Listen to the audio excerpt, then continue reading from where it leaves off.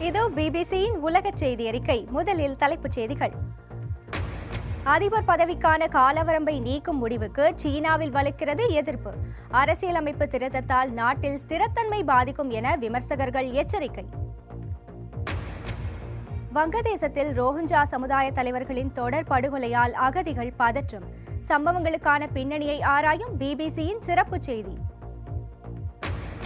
உலகிலேயே முதன்முறையாக எண்பதுகளில் புலிக்கு நடந்த பல் மாற்று அறுவை சிகிச்சை. பிபிசி பெட்டகத்திலிருந்து அரிய காட்சி.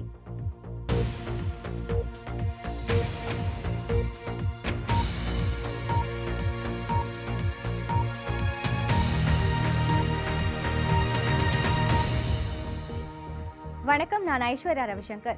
சீன அதிபர் பதவியை கால வரம்பின்றி வகிக்க வகை செய்யும் அரசியலமைப்பு திருத்த முன்மொழிவை நிராகரிக்க வேண்டும் என்று அந்நாட்டில் அரசுக்கு எதிரான விமர்சனங்களை முன்வைக்கும் செயற்பாட்டாளர்கள் வலியுறுத்தியுள்ளனர். இது தொடர்பாக கம்யூனிஸ்ட் கட்சி உறுப்பினர்களுக்கும் அவர்கள் கடிதம் எழுதியுள்ளனர்.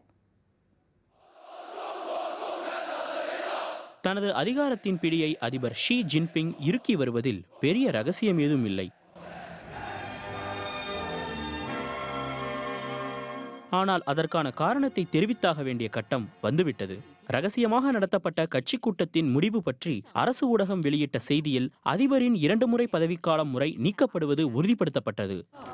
இதில் அச்சப்பட ஒன்றுமில்லை என்று வாதிடும் அதிபரின் ஆதரவாளர்கள் இரக்க குணம் கொண்ட தந்தை போன்ற தோற்றத்துடன் கூடிய அவரே பதவியில் நீடிப்பது நாட்டுக்கு நல்லது என்கிறார்கள். ஆனால் சீனாவின் சக்தி வாய்ந்த தலைவராக விளங்கிய மாவோவின் மறைவுக்கு பிறகு ஒற்றையாட்சி முறைக்கு முடிவு கட்டுவதற்காக இருமுறை பதவி வகிக்கும் வரம்பு அறிமுகப்படுத்தப்பட்டது. இந்நிலையில் சீன அதிபர் பதவிக்காலம் தொடர்பான மாற்றத்தை கடந்த காலங்களில் சிறிதளவு வெளிப்படையாக எதிர்த்தவர் செயற்பாட்டாளர் ஜாங் போச்செங் அதற்காக சிறைக்கும் அனுப்பப்பட்டார். பதவியில் ஒரு தலைவர் நீண்ட காலம் நீடித்து அதிகாரத்தை தனது கட்டுப்பாட்டில் இறுக்கமாக வைத்துக் கொண்டால் அதுவே காலப்போக்கில் பேரழிவாகிவிடும். இங்கு பலருக்கும் விமர்சனம் என்பது மறைமுகமாக செய்யக்கூடிய ஒன்று போல உள்ளது. அதுபோலவே சீன அரசியலமைப்பில் உள்ள சில வார்த்தைகள் நீக்கப்படுவது கூட பல தசாப்த அரசியலின் மாற்றத்தை குறிப்பதாக இங்குள்ளவர்கள் பார்க்கிறார்கள். சீரான முறையான ஆட்சி முறைக்கு முடிவு கட்டுவதன் மூலம் உலகின் இரண்டாவது மிகப்பெரிய பொருளாதாரமான சீனாவை அதன் தற்போதைய அதிபர் தனது கைப்பிடி அதிகாரத்திற்குள் காலவரம்பின்றி வைத்துக்கொள்ள முயல்கிறார். வலிமையான இந்த படைபலத்தின் பின்னணியில் ஸ்திரமின்மையின் பாதிப்பும் ஒளிந்திருக்கிறது. ஆனாலும் கூட இந்த சக்தி வாய்ந்த வல்லரசு தான் உருவாக்கிய விதியை தாமாகவே நீக்கிவிட்டு முன்னேறிச் செல்ல முயல்கிறது. வங்கதேசத்தில் தஞ்சமடைந்துள்ள ரோஹிஞ்சாக்களை மீண்டும் மியான்மருக்கு திருப்பி அனுப்ப வகை செய்யும் உடன்படிக்கை தற்காலிகமாக நிறுத்தி வைக்கப்பட்டுள்ளது. இந்நிலையில் அங்குள்ள முகாம்களில் அடுத்தடுத்து ரோஹிஞ்சா சமுதாய தலைவர்கள் இருவர் கொல்லப்பட்டுள்ள சம்பவங்களால் ரோஹிஞ்சாக்கள் பதற்றமடைந்துள்ளதை விவரிக்கிறது பிபிசியின் இந்த சிறப்பு செய்தி. முகமது உஸ்மானும் அவரது தந்தையும் இந்த தற்காலிக மசூதியில்தான் தொழுகையில் ஈடுபடுவர். ஆனால் ஒரு நாள் இவரது தந்தை யூசுப் ஜலால் தொழுகை முடித்துவிட்டு வீடு திரும்பும் வழியில் கொல்லப்பட்டார். ரக்கைனில் எங்கள் உறவினர்கள் கொல்லப்பட்ட பிறகு அங்கிருந்து தப்பி வந்தோம். அறுபது வயதான எனது தந்தை கடவுளுக்கு பயப்படுவார். அவருக்கு எதிரிகளே இல்லை. எங்கள் தாய்நாட்டுக்கே திரும்ப வேண்டும் என எப்போதும் விரும்பினார். அவர் கொல்லப்பட்ட பிறகு எனது தாயால் யாரிடமும் பேச முடியவில்லை. உயிர் பயத்துடன் நாங்கள் இருக்கிறோம். யூசுப் ஏன் கொல்லப்பட்டார் என்பதற்கான காரணம் யாருக்கும் தெரியவில்லை. வங்கதேசத்தில் உள்ள அகதிகள் முகாம்களில் பாரம்பரிய ரோஹிஞ்சாக்களுக்கு தலைமை தாங்குவது யார் என்பதில் ஏற்பட்ட பிரச்சனையை அங்கு வன்முறைக்கு வித்திட்டதாக நிவாரண ஊழியர்களும் உள்ளூர்வாசிகளும் தெரிவித்தனர். யூசுப் ஜலாலும் சமுதாய தலைவராக விரும்பினார். சில நாட்களுக்கு முன்புதான் மற்றொரு ரோஹிஞ்சா தலைவர் அவரது வீட்டில் முகமூடி அணிந்த நபர்களால் கொல்லப்பட்டார். அதைத் தொடர்ந்து நடந்த யூசுப் படுகொலை சம்பவம் இந்த முகாமை உலுக்கியுள்ளது. அவர்கள் இருசக்கர வாகனத்தில் வந்து எனது பெற்றோரை நோக்கி சுடத் தொடங்கினர். அவர்கள் ரொஹிஞ்சியா மொழியில் பேசினர். எனது தாயையும் அவர்கள் சுட்டனர். முகாம் தலைவர் என்ற முறையில் மியான்மருக்கு திரும்பிச் செல்ல விரும்பும் அகதிகளின் பட்டியலை மட்டுமே அவர் தயாரித்தார். அவரை ஏன் கொன்றனர்? ஒரு முகாமின் தலைவர் என்ற முறையில் நிவாரண உதவிகளின் முழு கட்டுப்பாடும் அவர் வசம் இருக்கும் என்பதால் அது சக்தி வாய்ந்த பதவியாக கருதப்படுகிறது. இங்குள்ள முகாம்கள் பெரிய அளவில் விரிவடைந்துள்ளதால் அதில் உள்ள மக்களின் தேவைகளும் முன்னுரிமைகளும் அதிகரித்துள்ளன. இந்த முகாமுக்குள்ளே ஐந்து காவல் நிலையங்கள் அமைக்கப்பட்டு பாதுகாப்பு கடுமையாக்கப்பட்டுள்ளதாக அதிகாரிகள் கூறுகிறார்கள். இரண்டு கொலை சம்பவங்களிலும் உயிரிழந்தவர்கள் மியான்மருக்கு ரோஹிஞ்சாக்கள் திரும்புவதற்கு ஆதரவாக இருந்தவர்கள். இவர்களின் படுகொலைக்கு இதுவே காரணமா என்பதும் தெளிவற்று உள்ளது. இந்நிலையில் வங்கதேசம் மற்றும் மியான்மர் இடையிலான ரோஹிஞ்சாக்களை திருப்பி அனுப்பும் உடன்படிக்கை நிறுத்தி வைக்கப்பட்டுள்ளதால் அதுவே ரோஹிஞ்சாக்கள் மத்தியில் விவாத பொருளாகி வருகிறது. அடுத்து மேலும் சில முக்கிய செய்திகள். சிரியாவில் ஐந்து மணி நேர சண்டை நிறுத்தத்துக்கு ரஷ்யா உத்தரவிட்ட பிறகும் அங்குள்ள கிழக்கு கூட்டாவில் தாக்குதல்கள் தொடர்வதாக ஐநா குற்றம் சாட்டியுள்ளது. இதன் காரணமாக சம்பவ பகுதிக்கு நிவாரண உதவிகளை வழங்க முடியாத நிலையில் இருப்பதாக ஐநா நிவாரண உதவிகள் வழங்கும் அமைப்புகள் கூறியுள்ளன.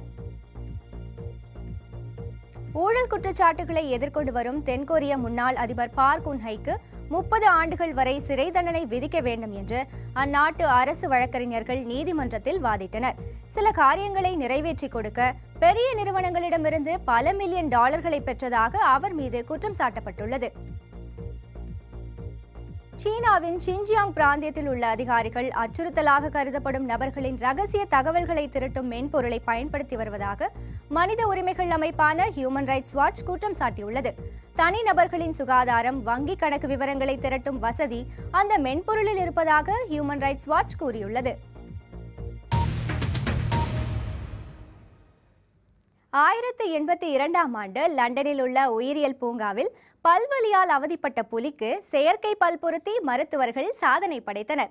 உலகிலேயே முதன்முறையாக செயற்கை பல் பொருத்தப்பட்ட அந்த புலிக்கு செய்யப்பட்ட அறுவை சிகிச்சையின் அரிய காட்சி பிபிசி பெட்டகத்தின் இந்த வார தொடரிலிருந்து உங்களுக்காக.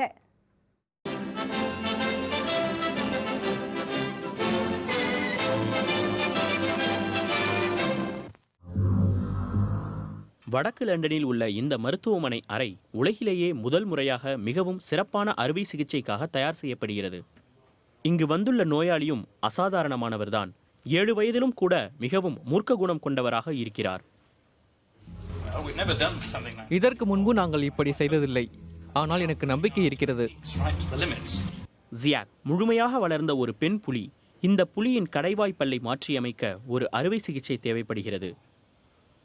பிரிட்டனின் முன்னோடி பல் மருத்துவர்களில் ஒருவரான பேராசிரியர் ஜான் ஹாப்கர்க் ஜியாக் பெண் புலிக்கு அறுவை சிகிச்சை செய்தார். முதலில் நடுக்கத்துடன் இருந்த ஜியாக்கிற்கு லண்டன் உயிரியல் பூங்காவைச் சேர்ந்த கால்நடை மருத்துவர் ஜான் நைட் அறுவை சிகிச்சைக்கு முப்பது நிமிடங்களுக்கு முன்பாகவே மயக்க மருந்து செலுத்தினார். Well, inside that sweet looking mouth, அழகாக காட்சியளிக்கும் புலியின் வாயில் மிகப்பெரிய பற்கள் உள்ளன. தனது வாயினுள் பெரிய கூர்மையான கடைவாய் பல்லால் ஒரு எலும்புத் துண்டை இந்த புலி பிடித்து வைத்திருந்தது. இத்தகைய கோரை பற்கள் நமது வாய்க்குள்ளும் பக்கவாட்டில் இருக்கும். அது இந்த வழியாக சென்று மேல் பகுதி வழியாக வெளியே வந்திருந்தது. கம்பியிலும் கூண்டின் மீது மோதியதில் ஜியாக்கின் மேல் தாடையில் உள்ள கடைவாய்ப்பல் உரசி முறிந்தது.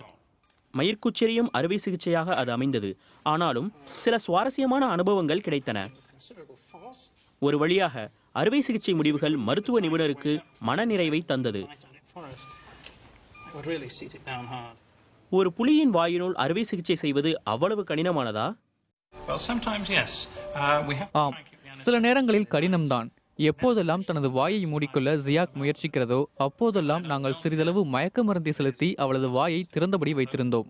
கால்நடை மருத்துவரான ஜான் மீது முழுமையாக நம்பிக்கை வைத்து செயல்பட்டேன். தனது பலத்தால் புலியின் வாயை திறந்தபடி வைத்து என்னை கடிக்காமல் பார்த்து கொண்டார். உலகிலேயே செயற்கை பல் கொண்ட ஒரே புலியாக ஜியாக் வாழ்வது எதிர்காலத்தில் பெருமைப்படக்கூடிய செய்தியாக இருக்கும் என்பதை நினைக்கும் போது மகிழ்ச்சியாக இருக்கிறது.